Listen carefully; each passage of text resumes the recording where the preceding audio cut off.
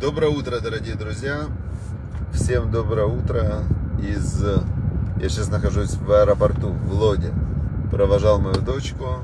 Улетала... Она улетала в лагерь. И поэтому я сегодня провожу прямо из машины. Провожу из машины урок. Сейчас, секундочку. Значит, э,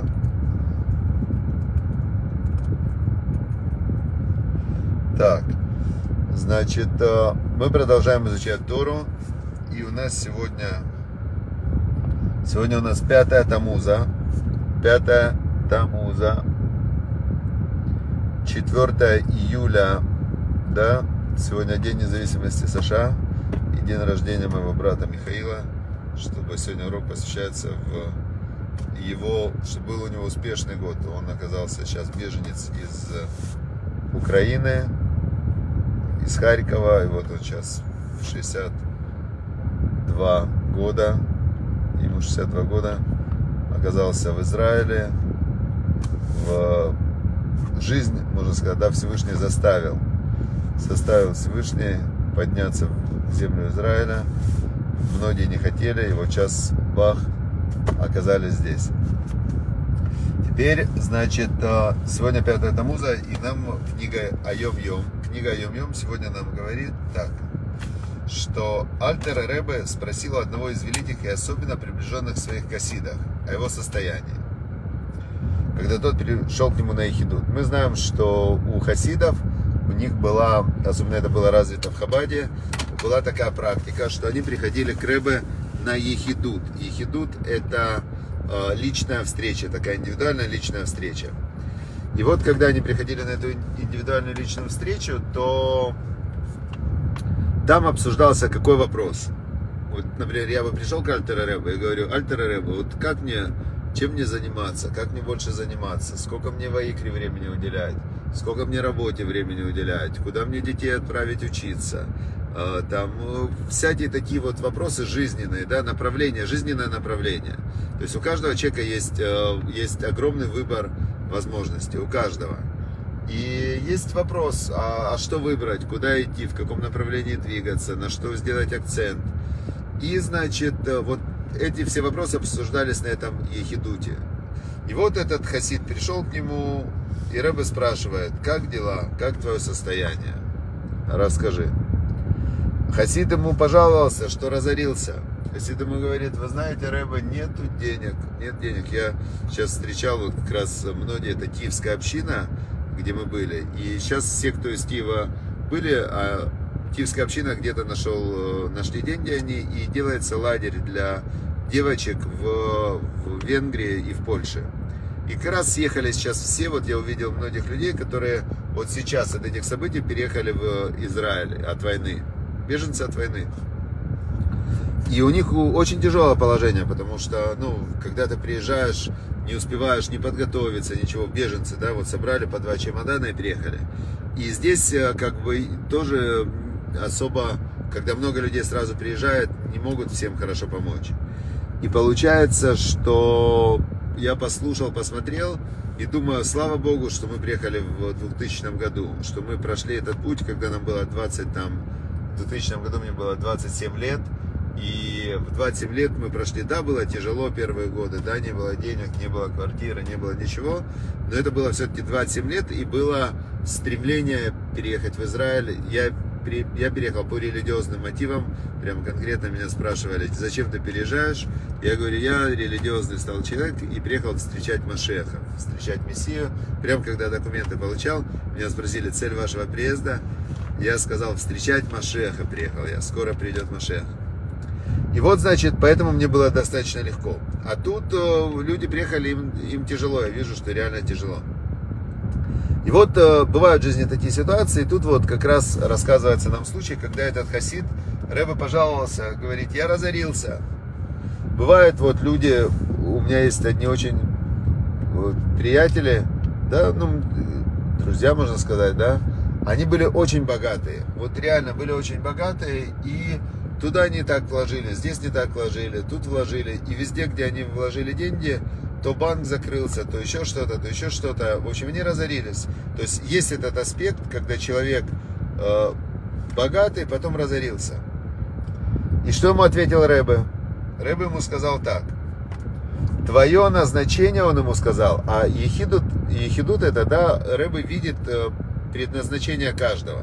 И он ему говорит, твое назначение – освещать все вокруг себя светом Торы и молитвы. Вот это твое предназначение. Учить Тору, обучать Торе и молиться. И освещать все светом. А пропитание и все остальное, в чем ты нуждаешься, обязан дать тебе Всевышний, благословен Он. Делай то, что должен делать ты, а Богу предоставь сделать то, что должен сделать Он. Вот давайте представим, что в этот момент может почувствовать человек, да? Вот у него нет денег, у него нет э, работы, у него нет э, жилья. Ему говорит Рэбе, послушай, ты Тору можешь учить? Могу. Молиться можешь? Могу. Занимайся этим, и остальное сделает Всевышний. Мне сразу вспоминается история Равшалом Аруша, который, который написал книгу «Сад веры», «Сад благодарности», «Сад мира» и еще много других книг. И Рав Шалом Аруш, он в книге «Сад благодарности» рассказывает свою историю, что он, э, он э, разорился тоже. У него, он у него были огромные-огромные долги.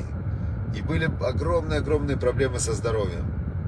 Но он очень сильно в это время приблизился к Торе, то есть он очень двигался ко Всевышнему. И есть такой, такой вид служения у бресловских хасидов, это уходить на природу и там на природе своими словами разговаривать с Богом. И с Богом разговаривать своими словами на природе, все ему рассказывать. И он говорит, я уходил часами, по 5-6 по часов я на природе, благодарил Всевышнего за то, что Он мне дал вот такую вот мою жизненную ситуацию. Я, понятное дело, что долги, нечего кушать, дома пустой холодильник, все. Он говорит, ну я по 5-6 по часов говорил Всевышнему спасибо, спасибо, я же знаю, что ты меня любишь, я же знаю, что ты со мной, и спасибо тебе за все, что ты мне даешь. И возвращался я домой, и дома я танцевал и радовался, и пустой холодильник, боли, все, а я танцую и радуюсь. И люди, которым я был должен деньги, они говорят, смотри, это очень странно, что ты такой радостный, да? у тебя денег нету, работы нету, ты нам должен, ты болеешь, а ты такой радостный. Он говорит, а чем мне не радоваться? Всевышний, он так сделал, значит, Всевышнему виднее. Значит, я радуюсь, что Всевышний мне дал то, что дал. И эти люди, они говорят, слушай, научи нас радоваться. Вот у нас и деньги у нас есть, и здоровье у нас есть, и машина у нас есть, и квартира у нас есть, а радости у нас нет. А у тебя ничего этого нету, а радость у тебя есть. Так получается, твое положение, оно лучше, чем наше, да, в жизни. Потому что э, если ты радостный, если ты довольный, если ты благодарный, у тебя все хорошо, так тебе хорошо, а нам реально плохо. И они начали его просить, чтобы он их научил, как, как как так радоваться жизни. И он их научил, вот этот сад благодарности, сад веры. И он, они дали ему деньги, издали его книги. И он эти книги, там сотни тысяч книг по всему миру его проданы, на все языки переведены. Он стал богатым, он все деньги вкладывает дальше в служение Всевышнему. И, значит, вот так вот как раз, наверное, это имел в виду Любавич Рэбе, Альтера Рэбе, когда с Хасиду давал этот совет. Учиться можешь? Могу.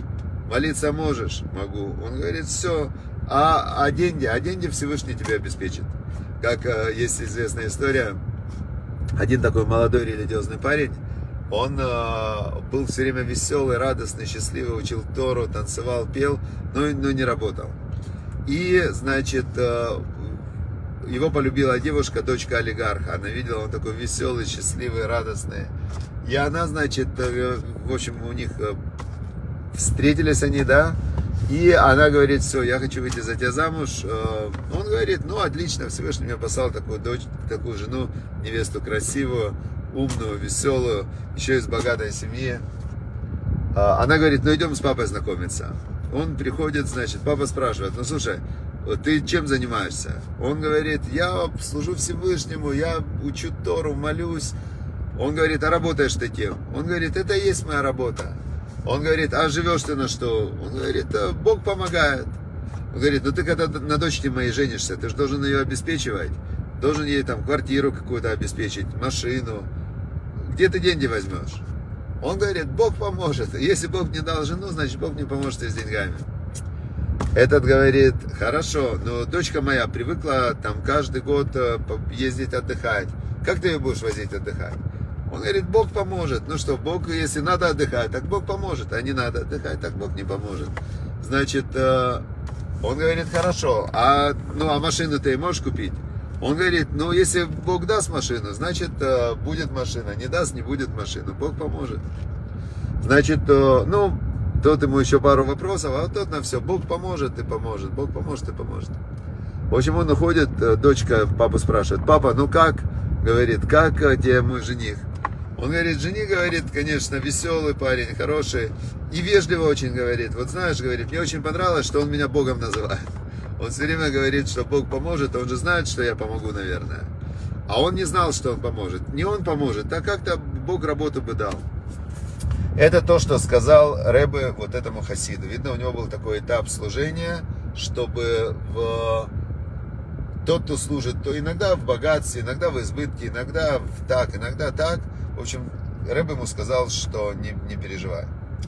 Вторая книга «Обретение неба на земле» нам говорит о том, э, помните, э, та линия, которую эта книга продолжает, что нужно выйти за пределы своего эго, за пределы своих привычных представлений, за пределы своих привычных действий и так далее. Вот, значит, это то, что говорили мы последние все занятия. Теперь эта книга сегодня нам говорит, что есть люди, которые э, хотят помогать другим, но, но они очень нетерпимы в своей помощи. Почему? А они не могут работать с другими, ибо их эго не оставляет больше места. Они могут, продолж... они могут работать только с продолжением собственных раздутых личностей, которые показывают, что нуждаются в них или нужны им. В общем, перевод очень плохой. А, из концовки понятно, что было в начале. Вы любите своего ближнего не ради прославления собственного эго. Переходя на помощь своему брату или сестре, оставьте собственное «я» позади себя. Любите самоотверженно. Значит, из этого совета показывается, что избавиться от эго можно, когда ты убираешь свои представления о том, что правильно или неправильно в помощи другому человеку. Проще всего понять эту идею из примера, когда учительница объясняла детям в школе, что надо помогать пожилым людям переходить дорогу. И нужно помогать пожилым людям переходить дорогу, потому что это правильно, это хорошо помогать людям переходить дорогу пожилым. И на следующий день Вовочка опоздал на, на урок, и учительница спрашивает, где ты был? Он говорит, вы знаете, я вот по вашему совету, я переводил бабушку через дорогу одну, перевел сегодня 39 раз ее. 39 раз я перевел. Какой молодец. Учительница говорит, а зачем бабушке было 39 раз переходить? Он говорит, а ей не надо было, говорит, я поэтому и опоздал, что она не хотела переходить. Но вы же сказали, что надо помогать и переводить. Вот я 39 раз ее перевел через дорогу. Некоторые люди вот так помогают друг другу, они, они, они переводят другого через дорогу, хотя другой вообще не хочет переходить через дорогу. Ему вообще не надо переходить через дорогу, для него это вообще не помощь. Но они своей вот такой вот э, помощью, представлением о помощи, навязчивой помощью, они делают, э, еще обижаются. Кстати, вот э, я сейчас рассказал эту историю понял, что я в некоторых случаях вел себя именно так по отношению к близким людям, э, потому что мне казалось, что именно помощь им это то, что я считаю правильным, я их прямо хотел заставить делать то, что, то, что мне казалось правильным для них. Хорошо.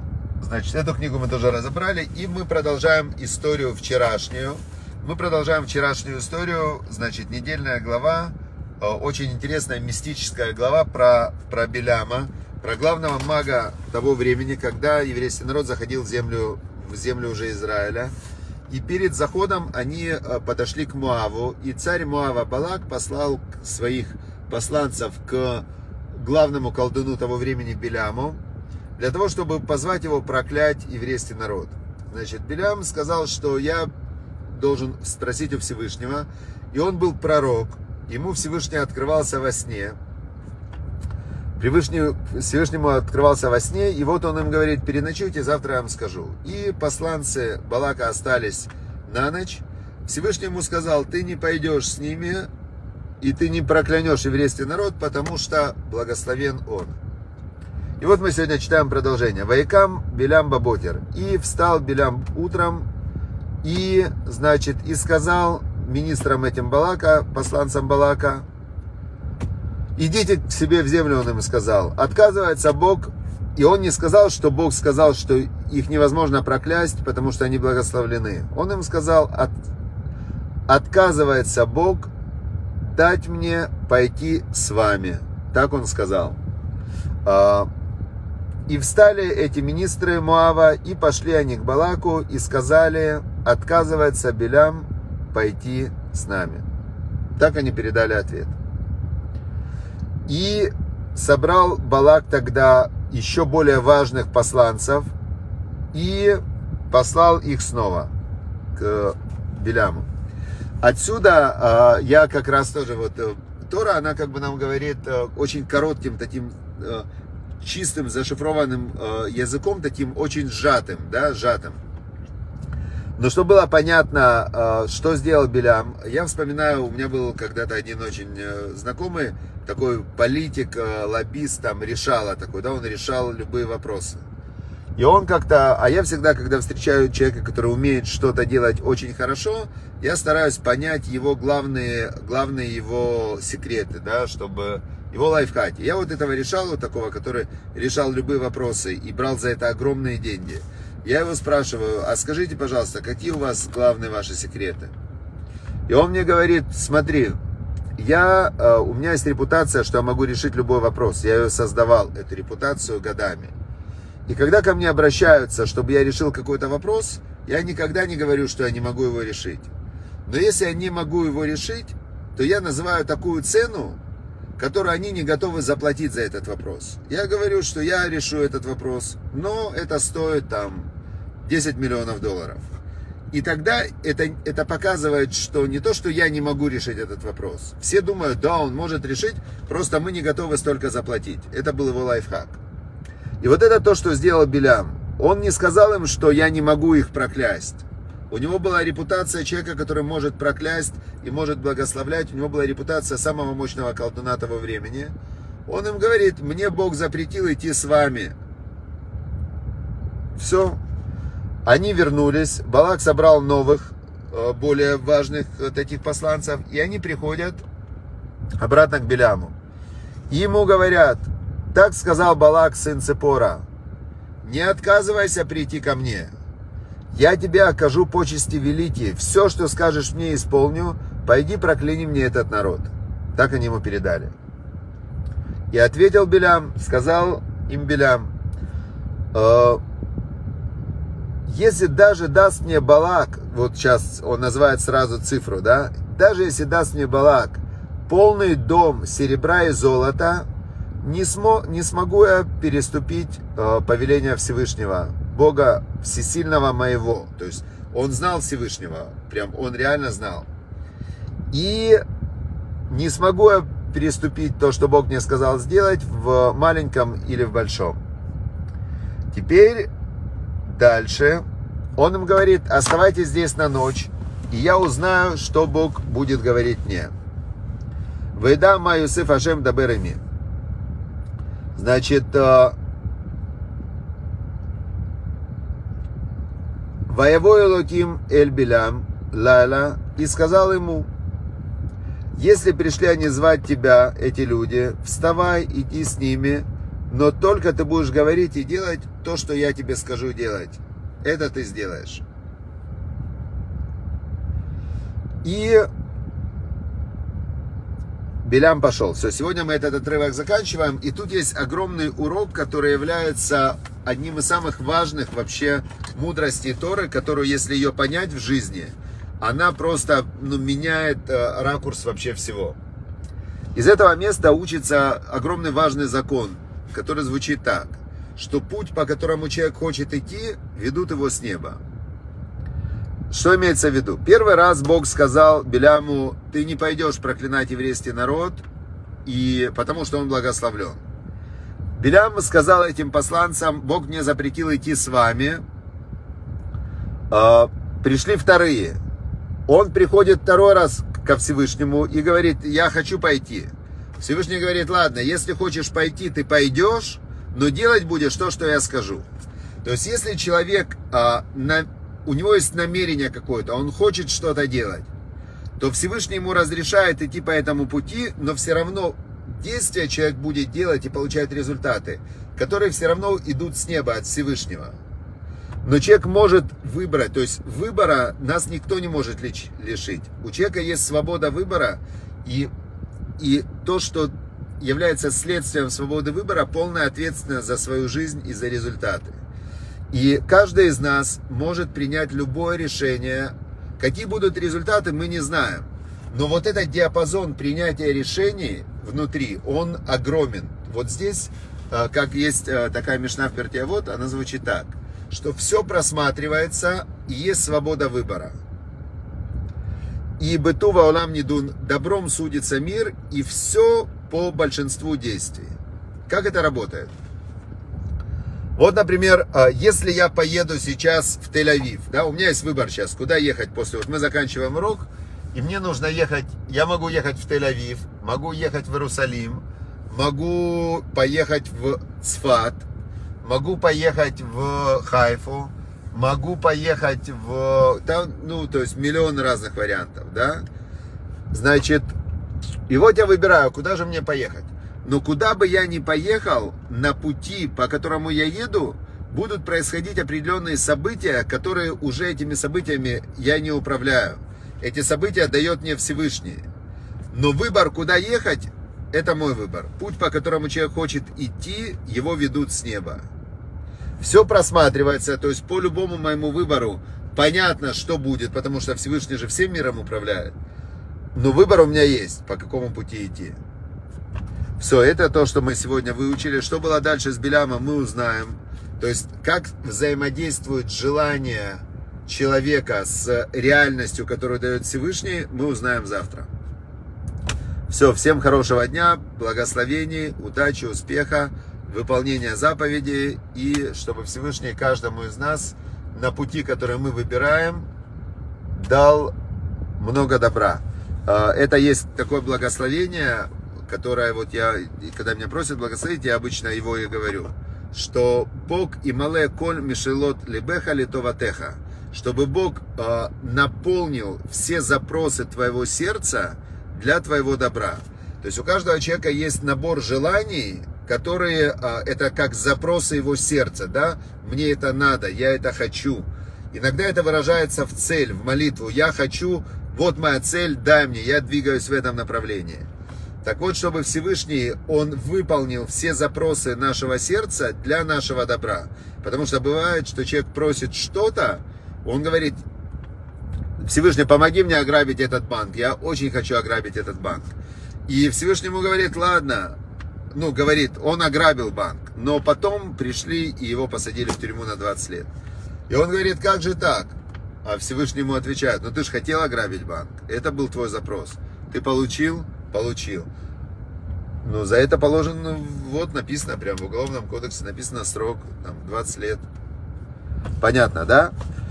Все, поэтому, чтобы мы, запросы нашего сердца были для нашего добра. Вот это вот важно. И когда вы молитесь о чем-то Всевышнему, добавляйте эту фразу, что Всевышний дай мне вот это, чтобы и мне потом было на втором шаге и на третьем, чтобы было от этого добро. Все, всем удачи, успехов, хорошего дня.